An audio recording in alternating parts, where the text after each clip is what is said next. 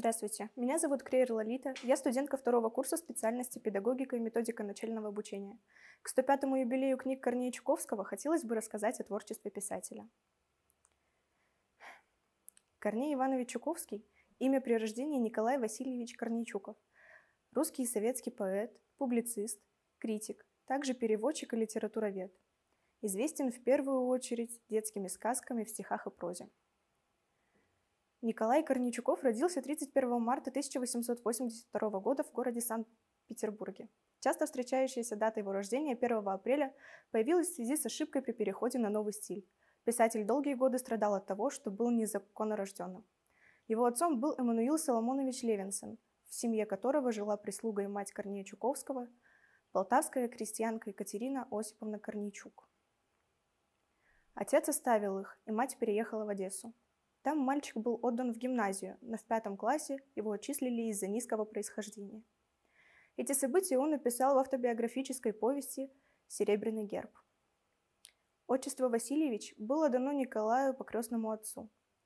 С начала литературной деятельности Корнейчуков, долгое время тяготившийся своей незаконнорожденностью, использовал псевдоним Корней Чуковский, к которому позже присоединилось фиктивное отчество Иванович. После революции сочетание Корней Иванович Чуковский стало его настоящим именем, отчеством и фамилией. Его дети – Николай, Лидия, Борис и умершая в детстве Мария, Мурочка, которой посвящены многие детские стихи отца, носили фамилию Чуковских и отчество Корнеевич Корнеевна. С 1901 года Чуковский начинает писать статьи в одесских новостях. В литературу Чуковского ввел его близкий гимназический друг, журналист Владимир Жаботинский – позже ставший выдающимся политическим деятелем сионистского движения. Жаботинский также был поручителем жениха на свадьбе Чуковского и Марии Борисовны Гольфельд. Затем, в 1903 году Чуковский был отправлен корреспондентом в Лондон, где основательно ознакомился с английской литературой. Вернувшись в Россию, во время революции 1905 года Чуковский был захвачен революционными событиями – посетил броненосец Потемкин, начал издавать в Петербурге сатирический журнал «Сигнал». Среди авторов журнала были такие известные писатели, как Куприн, Федор Сологуб и Тэфи. После четвертого номера его арестовали за оскорбление величества. К счастью Корнея Ивановича, его защищал знаменитый адвокат Грузенберг, добившийся оправдания. В 1906 году Корней Иванович приезжает в финское местечко Коакала – ныне Репина Ленинградской области, где сводит близкое знакомство с художником Ильей Репиным и писателем Короленко. Именно Чуковский убедил Репина серьезно отнестись к своему писательству и подготовить книгу воспоминаний «Далекое близкое». В Куакале Чуковский прожил около 10 лет. От сочетания слов Чуковский и Куакала образовано Чукакала, придумано Репиным, название рукописного юмористического – альманаха, который Корней Иванович вел до последних дней своей жизни. В 1907 году Чуковский опубликовал переводы Уолта Уитмена. Книга стала популярной, что увеличило известность Чуковского в литературной среде. Чуковский становится влиятельным критиком, громит бульварную литературу, остроумно защищает футуристов, как в статьях, так и в публичных лекциях, от нападок традиционной критики, хотя сами футуристы далеко не всегда ему за это благодарны. 1916 году Чуковский с делегацией Государственной Думы вновь посетил Англию. В 1917 году выходит книга Паттерсона с еврейским отрядом в Галиполе под редакцией и с предисловием Чуковского. После революции Чуковский продолжал заниматься критикой, издав две наиболее знаменитые свои книги о творчестве современников. Книга об Александре Блоке и Ахматовой и Маяковский. Обстоятельства советского времени оказались неблагодарны для критической деятельности. И Чуковскому пришлось этот свой талант зарыть в землю, о чем он впоследствии сожалел. С 1917 года Чуковский засел за многолетний труд о Некрасове, его любимом поэте. Его стараниями вышло первое советское собрание стихотворений Некрасова. Чуковский закончил работу над ними только в 1926 году, переработав массу рукописей и снабдив тексты научными комментариями. Помимо Некрасова, Чуковский занимался биографией и творчеством ряда других писателей XIX века – Чехова, Достоевского, Слепцова. Участвовал в подготовке текста и редактировании многих изданий. Самым близким себе по духу писателем Чуковский считал Чехова. Увлечение детской словесностью, прославившее Чуковского, началось сравнительно поздно, когда он был уже знаменитым критиком. В 1916 году Чуковский составил сборник «Елка» и написал свою первую сказку «Крокодил». В 1923 выходят его знаменитые сказки «Майдадыр» и «Тараканище». В жизни Чуковского было еще одно увлечение – изучение психики детей и того, как они овладевают речью. Он записал свои наблюдения за детьми, за их словесным творчеством в книге «От двух до пяти» в 1933 году. Все другие мои книги сочинения до такой степени заслонены моими детскими сказками, что в представлении многих читателей я, кроме Майдадыров и Мухцикатух, вообще ничего не писал. В 1960-х годах Чуковский затеял пересказ Библии для детей.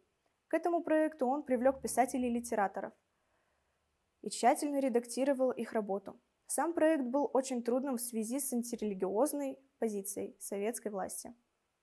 Книга под названием «Вавилонская башня» и другие древние легенды была издана в издательстве «Детская литература» в 1986 году.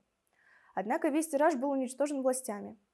Первое книжное издание, доступное читателю, состоялось в 1990 году. В 2001 году в издательствах «Росман» и «Стрекоза» книга стала выходить под названием «Вавилонская башня и другие библейские предания». В последние годы Чуковский – всенародный любимец, лауреат ряда государственных премий и орденов, вместе с тем поддерживал контакты с диссидентами. На даче в Переделкино, где он постоянно жил последние годы, он устраивал встречи с оркестными детьми, беседовал с ними, читал стихи, приглашал на встречи известных людей, знаменитых летчиков, артистов, писателей и поэтов. Переделкинские дети, давно ставшие взрослыми, до сих пор вспоминают эти детские посиделки на даче – Чуковского. Умер Корней Иванович 28 октября 1969 года от вирусного гепатита на даче в Переделкино, где писатель прожил большую часть жизни. Ныне действует его музей. Здравствуйте, меня зовут Джамписова Снежана, я студентка второго курса специальности педагогика и методика начального образования. В список юбилейных книг Чуковского входит произведение детской литературы «Майдадыр и тараканище», которым исполняются 100 лет. Майдадыр – детская сказка в стихах Корнея Чуковского, названная по имени одного из ее героев, написана по словам самого Чуковского. В 1921 году впервые опубликована издательством «Радуга», в 1923 году с иллюстрациями Анинкова. По сказке сняты в мультфильме в 1927 году. Повествование ведется от лица мальчика, от которого внезапно совершает побег его вещи – Появившийся говорящий умывальник, Майдадыр, сообщает мальчику, что вече совершили побег от него из-за того, что тот грязнули. По приказу Майдадыра щетки и мыло набрасываются на мальчика и начинают мыть его насильно. Грязнули вырывается и выбегает на улицу, однако за ним в погоню отправляется мочалка. Гуляющий по улице крокодил проглатывает мочалку, после чего угрожает мальчику.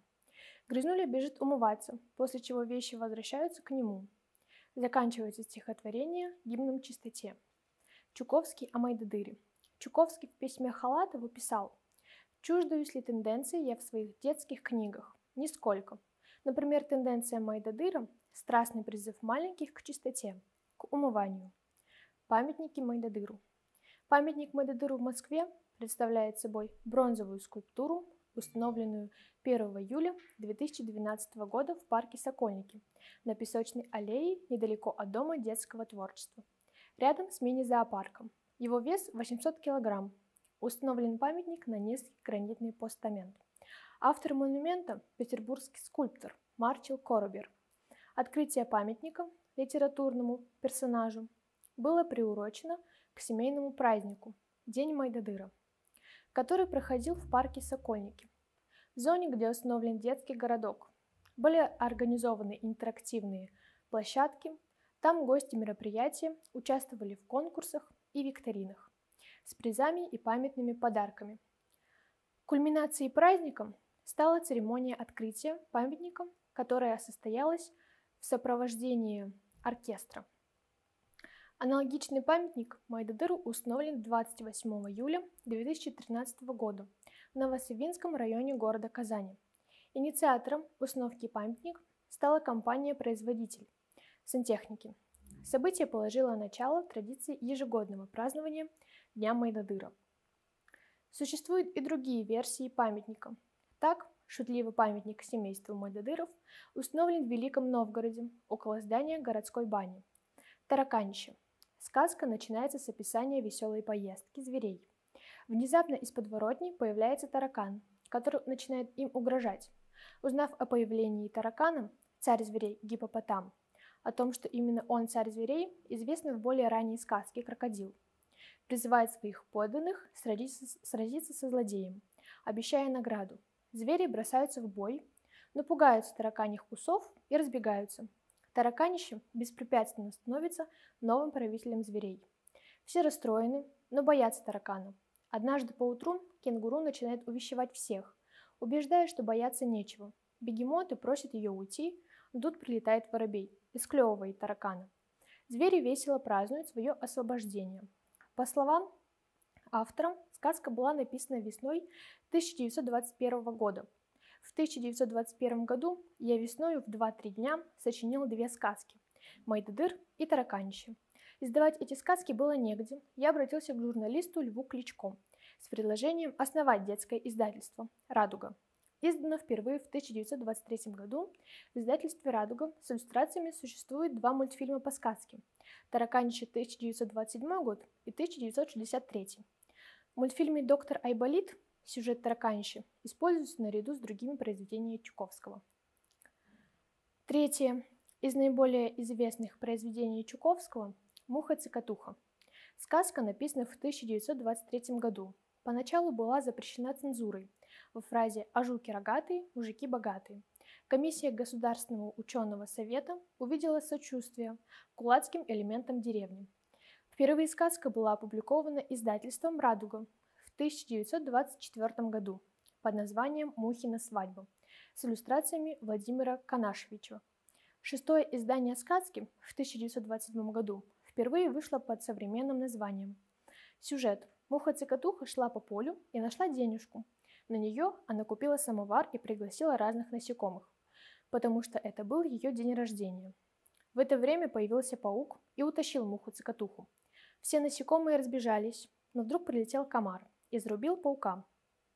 Он стал женихом мухи-цикатухи, и насекомые отпраздновали свадьбу. Экранизация и инсценировки. По сказке снято не менее четырех мультфильмов. 1941 «Муха-цикатуха», режиссер Владимир Сутеев – 1960 режиссер Владимир Сутеев и Борис Дёшкин. 1976 режиссер Борис Степанцев.